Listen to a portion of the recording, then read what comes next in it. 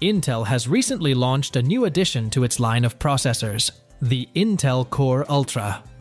This latest model is a successor to its predecessors, the Intel Core i3, i5, and i7. This new version promises to provide customers with high performance computing power and advanced features.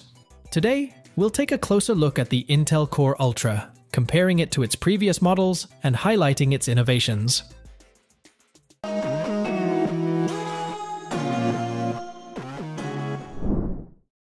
Intel comes with its new processor version called Core Ultra, which will be featured on Intel's 14th generation Meteor Lake CPUs for laptops and on desktop CPUs with the 15th generation Arrow Lake CPUs that are expected to launch in late 2024. In a departure from its iconic i naming convention, Intel has dropped the letter from its branding. This means that the next time you purchase a laptop or desktop with an Intel CPU, you won't see the familiar i3, i5, i7, or i9 naming scheme. Instead, you will see Intel Core Ultra 5, Core Ultra 7, or Core Ultra 9. One of the most notable improvements in the Intel Core Ultra is its performance. The processor delivers more multi-threading performance than Raptor Lake, and roughly equivalent single-thread performance but at much lower power. This means that users can expect better performance in applications that require multi-threading, such as video editing, gaming, and 3D rendering. It also features an updated compute tile architecture, which includes performance hybrid cores, P cores, and efficient cores, E cores. The P cores are designed for high performance tasks, while the E cores are optimized for power efficiency. The new addition to the E cores is a smaller set of low power island E cores, which can handle predictable lightweight tasks like video playback or background tasks, resulting in lower power consumption. The Core Ultra processors come with a hybrid architecture that combines Intel's Adaptive Boost technology and Intel Turbo Boost Max technology 3.0.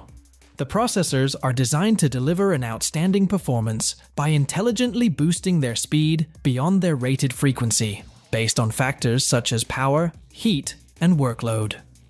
Intel Turbo Boost Max technology 3.0 is available only on select H-series Intel Core Ultra 7 and H-series Intel Core Ultra 9 processors. Additionally, the U-series processors are optimized for premium thin and powerful laptops and desktops, which provides an optimal balance between performance and power efficiency.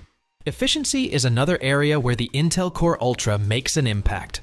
The processor is built on a new process node, which has resulted in a significant improvement in power efficiency.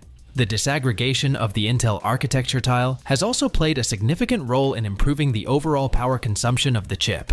Another innovation in the Intel Core Ultra is the inclusion of AI acceleration in the E-cores. The Crestmont E-cores now support Virtual Neural Network VNNI instructions for inferencing which means that users can expect better AI performance and improved power efficiency. The new Ultra series features an improved neural processing unit block that helps to reduce the burden on the CPU and GPU for AI optimized workloads. The NPU is intended to support new and improved experiences with high energy efficiency that is unmatched by everything except for the ARC graphics on the same chip. The Core Ultra processors also feature Intel Intelligent Display capabilities, which require compatible TCON and display panels. Intel Dynamic PowerShare is also available, but users will need to work through Intel's customer engineering and account teams to explore enabling options. Ultimately, Intel's new Core Ultra processors offer a range of features and benefits for both laptops and desktops, including improved performance, power efficiency, and AI capabilities. They are available with built-in Intel Arc GPUs and are designed to deliver immersive experiences with discrete level graphics, best-in-class connectivity, and enhanced media technology. If you have any further questions or want to share your thoughts, please leave a comment below.